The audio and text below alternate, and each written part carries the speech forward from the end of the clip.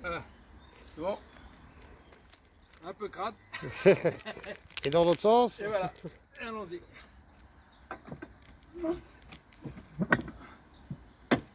C'est bon.